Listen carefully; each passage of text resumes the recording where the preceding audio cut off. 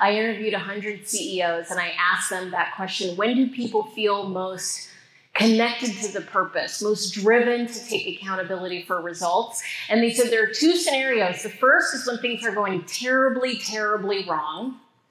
And there is something like a calamity or results are just, we're about to go bankrupt. And the second is when everything is going really awesome when we are just killing it. And that motivates us to try even harder. So it's these two extremes of you're either wildly successful or about to hit rock bottom when people step up to the plate. And so that was my question. How do we get people when you're just kind of ho humming along? And I don't know the answer necessarily. What I can tell you is when most clients come to us, they're in one of those two places. They're absolutely killing it and they're ready to take it to the next level, or everything's a bit of a disaster and they need to dig themselves out of the hole that they've gotten.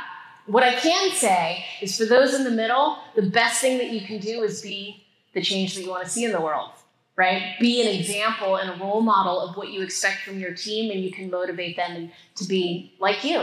I mean, that's what I got it from someone that I saw that was doing things differently and it was transformative. So the little impact that you can make is simply just doing it in your own lives.